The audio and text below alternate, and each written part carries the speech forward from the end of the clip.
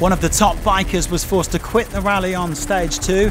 Joaquim Rodrigues, a stage winner at this year's Dakar, suffered crashes both yesterday and today.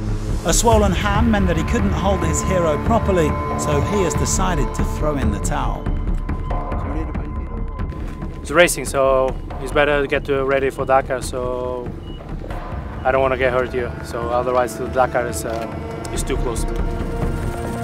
Toby Price had a very solid run today, finishing inside the top five to move up to second place overall.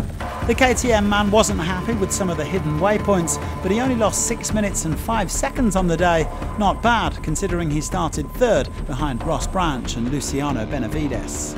Well, Benavides' teammate Skyler Howes felt right at home in the fast early sections, and he pushed hard to catch up with that front group. The two Husqvarnas navigating the soft sand very nicely Howes was fourth for the third day in a row, and that was enough to snatch the overall lead. Ricky Brabec had an up and down day. He made a strong start, but by refuelling, he felt he wasn't gaining enough time on the front runners. He and Sam Sunderland looked to push on, but they had trouble finding a hidden waypoint in one of the off piste sections, the Honda man eventually settling for third place. Well, like Price and Sunderland, Kevin Benavides had a few choice words about today's navigation, but otherwise he felt really good on his KTM. The Argentine ate a lot of dust, but he still made up good ground, finishing second on the day. He's now up to 8th place overall.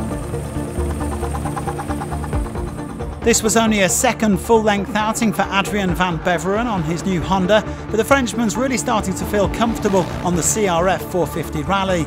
After attacking with Brabec and Sunderland towards the end, he was able to celebrate a first stage victory in his new colours. It feels good to win a stage for sure. Uh, it was only my second stage on the Honda. Uh, to already make a win, it's nice. I think today my strength was my navigation, uh, but step by step I want to I want to feel more free and uh, enjoy my, my riding on Honda.